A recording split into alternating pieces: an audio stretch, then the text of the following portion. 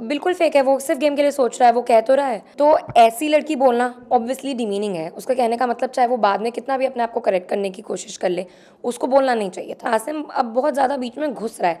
जब सिद्धार्थ चुप भी होते हैं, लेकिन आसिम बोलते रहते हैं। सिद्धार्थ प्रोटेक्टिव है, सना को लेकर आज थोड़ी पॉपुलर जा रही है तो वो थोड़ा आप स्मार्टली उसको थोड़ा नीचे लाने की कोशिश कर रहे हैं। हो रहा है झगड़ा और फिर मनाना, ये थोड़ा ज़्यादा हो रहा है।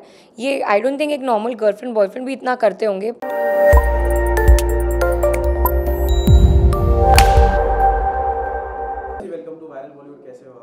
मैं ठीक हूँ आप कैसे हो? तो बहुत शॉकिंग था कि आप सेकंड टाइम गए थे तो बहुत स्ट्रांगली खेल रहे थे। आपके लिए कितना शॉकिंग था ये इवेक्शन शॉकिंग था बहुत लोग हैं जो निकल सकते थे मेरे से पहले। मधुरिमा वैशाल शिफाली जरीवाला। स्ट्रॉन्ग वो इतने नहीं हैं उनके ओपिनियंस भी इतने स्ट्रॉन्ग नहीं हैं। यहाँ पे इन्होंने मुझे स्ट्रॉन्ग ना दिखाने की बहुत कोशिश की घर वालों ने। लेकिन मैंने अपना पॉइंट रखा। उन्होंने देखा कि मैं फ़र्स्ट इनिंग्स में बहुत ज़्यादा स्टैंड लेती थी या फिर अपने लिए खेलती थी और मेरे पॉइंट्स होते थे बोलने वाले। मैं मुद्दों पे लड़ती थी। अभी भी मैंने वही किया लेकिन इन्होंने ये चीज़ मेरा अगेंस्ट खेलने की कोशिश की लेकिन फ़ाइन इट इज़ ओके अगर उनकी जो भी स्ट्रैटेजी थी उन्होंने करने की कोशिश की but I gave it back to them अच्छा आप बोल रहे हैं कि बात बात रख रहे थे आप लेकिन आपके दोस्त पारस आपके अगेंस्ट चल रहे हैं। हम्म। तो फिर उस बारे में आप कैसे बताओगे? अगेंस्ट uh, वो उनकी उसकी स्ट्रैटेजी थी कि uh, शिफाली क्योंकि स्ट्रॉन्ग है अब उसको निकालना है वो आई है तो uh, कैसे निकालेंगे? हाँ तो वो बिल्कुल फेक है वो सिर्फ़ गेम के लिए सोच रहा है वो कह तो रहा है। एंड उसने ये भी किया मेरे साथ। उसने बहुत कुछ गलत भी बोला तो हमारी बॉन्डिंग वहाँ पर भी थोड़ी ख़राब हुई। उसने मीडिया के बारे में बहुत कुछ बोला। हमारा झगड़ा हुआ मैंने उसको काफ़ी सुनाया भी था इस बात पर। मुझे बिल्कुल पसंद नहीं आया। फिर उसने ये भी बोला कि तो जैसी लड़की को मैं रुलाता हूँ। आई मीन क्या बताने की कोशिश कर रहा है उसको? इज़ ही प्राउड कि वो लड़कियों को रुलाता है या क्या? वॉट एवर उसने गलत बोला है। बहुत सारी बहुत लोगों को गलत बोला है। सो so, uh, बाकी दोस्ती आई डोंट थिंक उसके लिए इतना मायने रखती है गेम के अंदर। अच्छा घर में लड़कियों की बात है तो सिद्धार्थ शुक्ला ये जो है इन्होंने बहुत बड़ा सीन क्रिएट कर दिया था रश्मि और उनकी जब फाइट हुई थी ऐसी लड़की। हमको तो क्लिपिंग्स दिखाए गए थे पर आप तो घर में थे आपको बहुत अच्छे से पता होगा कि क्या सिनेरियो था कितने बार हम्म, हुआ तो ऐसी लड़की बोलना ऑब्वियसली डिमीनिंग है। उसका कहने का मतलब चाहे वो बाद में कितना भी अपने आप को करेक्ट करने की कोशिश कर ले उसको बोलना नहीं चाहिए था। वो ये थोड़ा ना बोल रहा है कि वाह यार।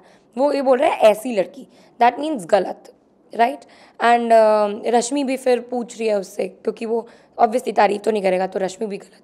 बहुत सारी चीज़ें हैं, बाहर की चीज़ें अंदर लेकर आ रहे हैं। एंड आई डोंट थिंक वो नहीं लाना चाहते तो फिर वो गेम के लिए कर रहे हैं ऐसा। और बहुत सारी जगह पर दोनों ही गलत दिखाई दिए हैं, वो चाय फेंक रही है अग्रेसिव हो रहे हैं दोनों। बट अभी अरान के जाने के बाद क्या रश्मि का गेम आ रहा है, कैसा लग रहा है रश्मि थोड़ा अब आसिम के साथ हैं लेकिन और थोड़ा स्ट्रांगली खेलें। बहुत सारी ऐसी जगह होती हैं जहाँ पे वो अपने लिए स्टैंड नहीं खेलती हैं नहीं लेती हैं और स्ट्रांगली नहीं खेलती हैं। उनको खेलना चाहिए। आसिम की बात करें तो आसिम सिद्धार्थ आसिम सिद्धार्थ घर में लड़ाई हम्म। कहीं पर भी हो चाहे वो टास्क में हो नॉर्मल हो तो वो लड़ाई आपको कितना इरिटेट करती है पूरे घर वालों को पहले इनिशली समझ में आती थी क्योंकि बहुत मिसअंडरस्टैंडिंग थी। दोनों का नेचुरल लगता था। अब वो बहुत ज़्यादा सिर्फ़ लड़ने लड़ने लड़ने के लिए हो रहा है। कोई बात भी नहीं है तो भी एक दूसरे को पोक कर रहे हैं और लड़ रहे हैं वो बहुत ओवर एंड इरिटेटिंग हो रहा है। फिर भी आपके हिसाब से क्या लगता है कि पोक कहाँ से आता है? सिद्धार्थ के यहाँ से आता है कि आसिम के यहाँ दोनों ही करते हैं लेकिन आसिम अब बहुत ज़्यादा बीच में घुस रहा है। जब सिद्धार्थ चुप भी होते हैं लेकिन आसिम बोलते रहते हैं। अच्छा सलमान खान भी घर में आए थे वो मोमेंट आपके लिए बहुत ये रहा होगा कि इतने बड़े सुपरस्टार हमारे घर को साफ़ कर रहे हैं। तो क्या था मतलब तब क्या चल रहा था दिमाग में कि ये तो सबकी रिस्पॉन्सिबिलिटी है। आ, मैं अपना काम कर रही थी बहुत लोग अपना काम कर रहे थे लेकिन कुछ नखरे कर रहे थे जो कि ज़रूरत नहीं थी। ये रिस्पॉन्सिबिलिटी है और अपनी पर्सनैलिटीज़ दिखा रहे हैं वो ना करके। बाद में भी अभी काफ़ी लोग हैं जो नहीं सुधरे हैं। सिद्धार्थ और शहनाज ये ट्रेंडिंग टॉपिक चल रहा है बाहर। चाहे वो फ्रेंडशिप हो या लव स्टोरी हो जो भी है उनका चल रहा है। आप घर में रही आपको कैसा लगा उनका बॉन्डिंग लव स्टोरी नहीं है वो फ्रेंडशिप ही है अच्छी बॉन्डिंग है। एंड सिद्धार्थ प्रोटेक्टिव है सना को लेके और शहनाज भी काफ़ी यू नो वो कहती हैं खुद ही कि उनको अच्छा लगता है जब सिद्धार्थ उन्हें अटेंशन देता है। सो दैट्स इट लेकिन अब सिद्धार्थ थोड़ा शहनाज को यू नो काइंड ऑफ़ उनको समझ में आ गया कि शहनाज थोड़ी पॉपुलर जा रही हैं तो वो थोड़ा स्मार्टली उसको थोड़ा नीचे लाने की कोशिश कर रहे हैं। क्या ये हम कह सकते हैं कि शहनाज यूज़ कर रही है सिद्धार्थ को?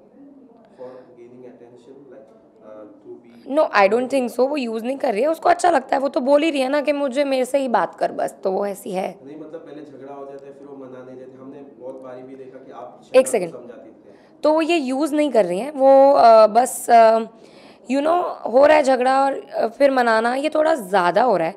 ये आई डोंट थिंक एक नॉर्मल गर्लफ्रेंड बॉयफ्रेंड भी इतना करते होंगे थोड़ा स्पेस दें एक दूसरे को कह वो भी कह देंगे कि बस ये क्या कर रहे हो यार। लेकिन ठीक है अब दोनों का दोनों एक दूसरे को टॉलरेट कर रहे हैं दोनों एक दूसरे को फ्रेंडशिप में रहकर ये चीज़ें कर रहे हैं तो let them and what about Mahira Mahira भी काइंड ऑफ़ शहनाज से थोड़ा जेलसी वाला दोनों के बीच में चल रहा है। तो उसके उसके बारे में क्या कहना चाहिए लास्ट मायरा अननेसेसरीली वो मुद्दे उठाती हैं, उनको इतना बड़ा बड़ा खींचती हैं, कोई ज़रूरत भी नहीं थी। नॉर्मल अगर आप रोटी यू नो बनाना चाहते हो प्यार से तो चुपचाप बनाओ और काम ख़त्म करो बार बार एहसान जताना। एक चीज़ को खींचते रहने का कोई पॉइंट नहीं है सॉल्व करो, ख़त्म करो। बस उनकी गेम पारस के अराउंड चल रही है।